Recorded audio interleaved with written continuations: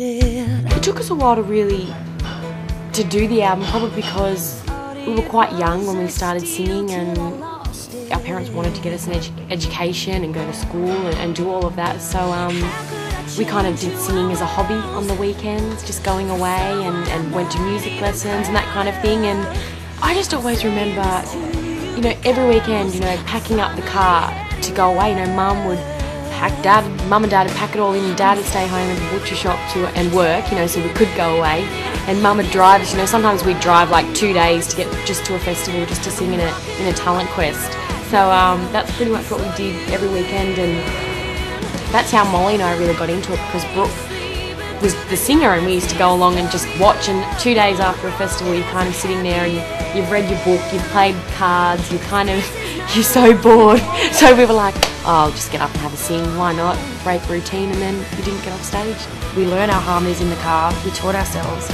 So um, it was just a natural progression, I think, to where we are today. We kind of were always going to do this, but never knew when. And it wasn't until Molly was out of school, I think a year and a bit, that um, we went, why not now? Because I'm getting old. And we're all focused, we can just focus on music and that's what we wanted to do. So now it just seemed the right time to do the album. Rumor has it I've been known for cheating. The producer we had was Adam Anders, and uh, he's a Swedish Swedish bloke, but uh, he was just absolutely lovely. And he was young. He suited our music. He got our personalities, which is the main thing. Because if people don't get us, and it just doesn't work. There's no vibe. So he's dabbled a lot in like pop music, um, a lot of crossover, a lot of Disney, Walt Disney stuff. He's done a lot of um, American and he's a Swedish guy. He was wonderful.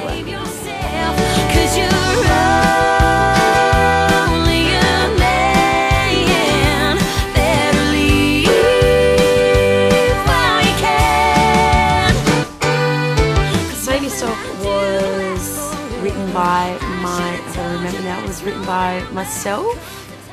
Oh, Adam Anders, our producer again, and Trey Bruce, who's written a lot of lot of country hits for like Jo Dee Messina and the Rascal Flatts, Rascal Flatts.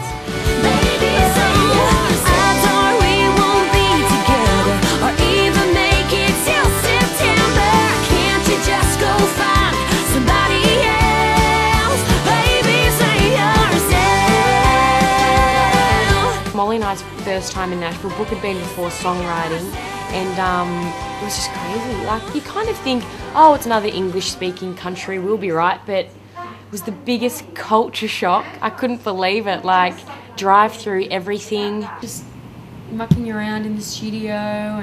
Oh, oh, yodelay, yodelay, lady. and now I'd like to show you my yodeling skills. I hope people are just really. I hope they can go through lots of emotions with the record. I think it's got such a diversity that It kind of reflects so many different moods. I think that's really what we wanted to create was just like a roller coaster of emotions and um, something that will can kind of stand the test of time and just be a really great album that people really remember. And we didn't mean to. We were just writing, you know, what's going to be the best songs for the album. You know, we wanted to kind of make that album of every single song to mean something, not just kind of a few hits and then a few fillers. We kind of wanted every single song to mean something to us, and I think that's what we've what we've created. We've gone as far as you wanna go. Danced all around the edge.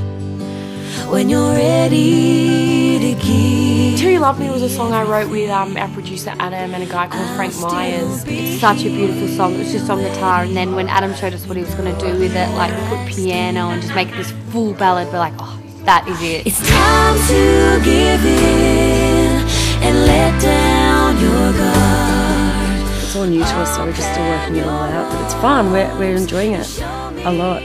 Look at Sam, she's freaking out. I can't hear you. We're not talking about you, don't worry. didn't care at all. But look at what's happened. You came One more sad night, I'll drive. Just night night needs to be soft like uh, you know. I'll be fine,